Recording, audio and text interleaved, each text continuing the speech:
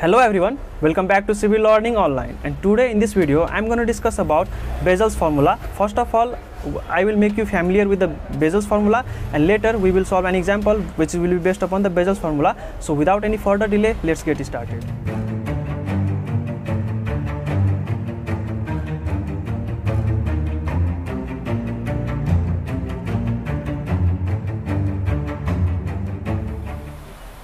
So students, let's begin the solution of this problem. Here we are asked to find the cube of 6.36 by using Bessel's formula and we are provided with different value of x starting from 6.1 to 6.5 similarly we are provided with the value of y also and we, we, can you can see that 6.36 lies between 6.3 and 6.4 so now what we will do? First let's get familiar with the Bessel's formula and then we will solve this problem.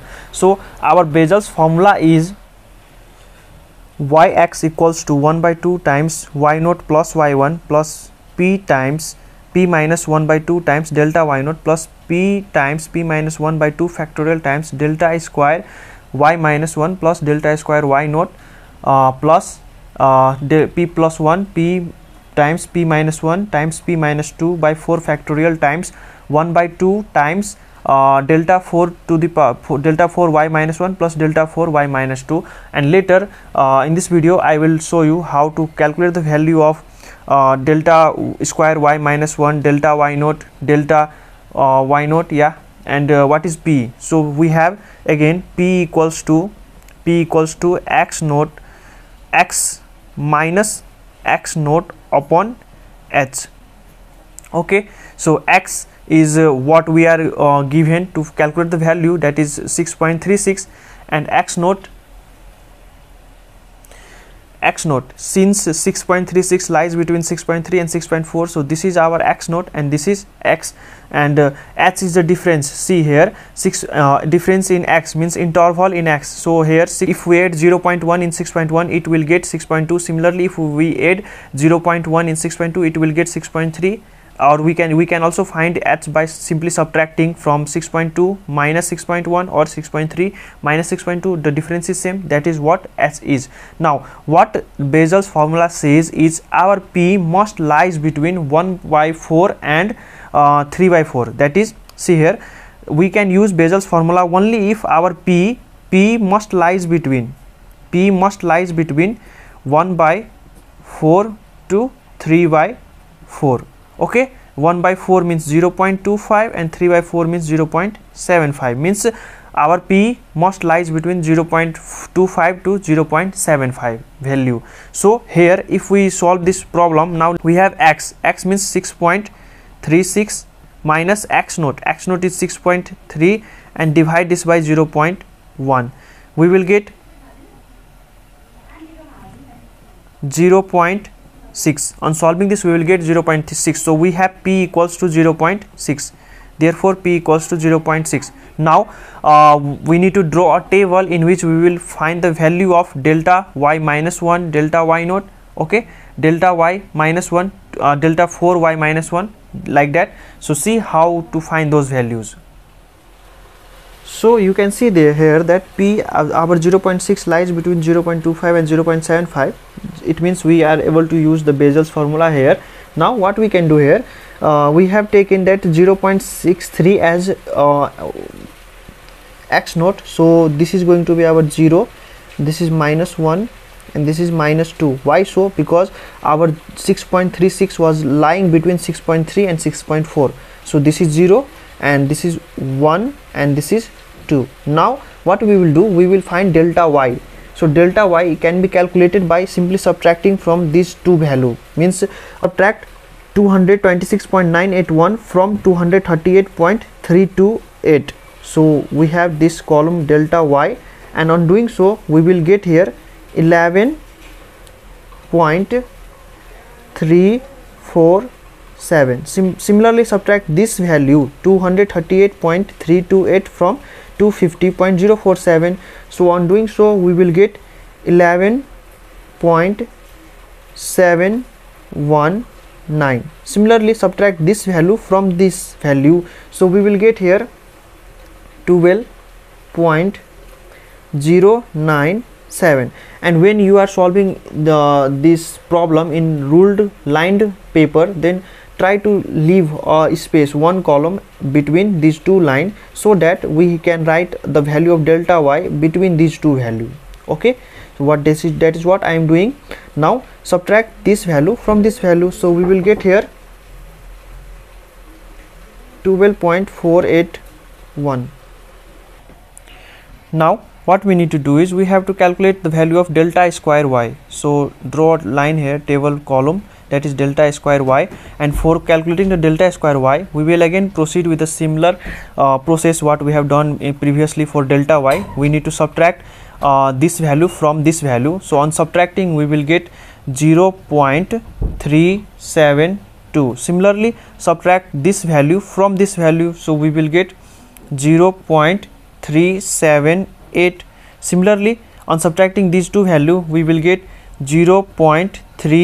0.384 now uh, we need to proceed uh, calculating the delta square y until we get only one value in a, in a single column. So again we have here three value. So again we will move for delta q y. For delta q y subtract this value from this value. So we will get here 0 0.006 similarly on subtracting this value from this value we will get 0 0.006 and again delta 4y for delta 4y subtract this value. From this value we will get here 0 now we use this these values which we have calculated recently in this formula to calculate the value to find the value of 6.36 to the power 3 so how we will do this here?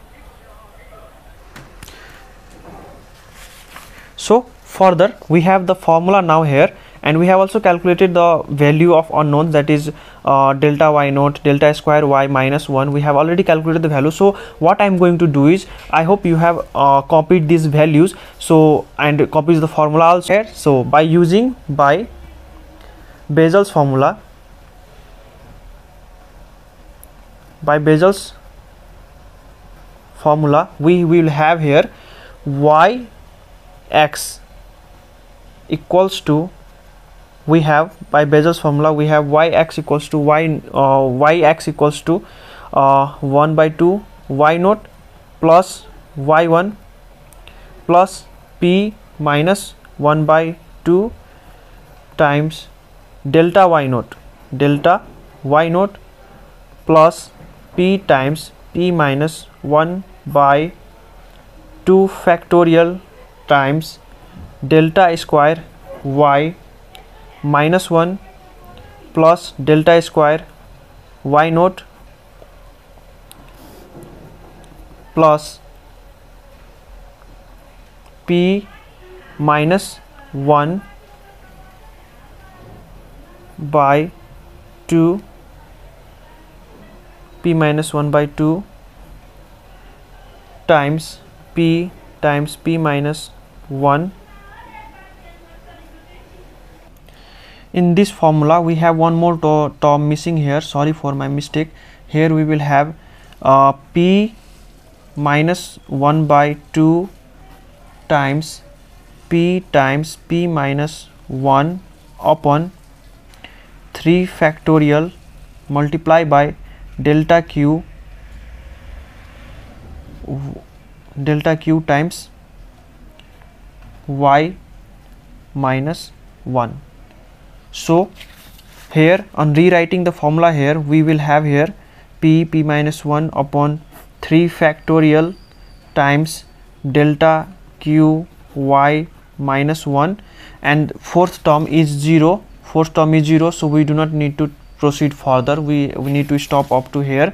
Now put the values and find the final answer. So we will have here on putting the value we will have here y 3 point uh, 6 point 36 6.36 will be equals to uh, 1 by 2 times 250.047 plus 262.141 plus 0.6 minus 0.5 times 12.097 and further plus 0.6 times 0.6 minus 1 times 1 upon 2 factorial times 1 by 2 times 0.378 plus 0.384 plus 0.6 minus 0.5 times 0.6 times 0.6 minus 1 upon 6 times 0.006 okay so on solving this we will get value equals to 257.2595 and this is our final answer we do not need to do the cube because in the question it is mentioned that y is our x cube y is already cubed.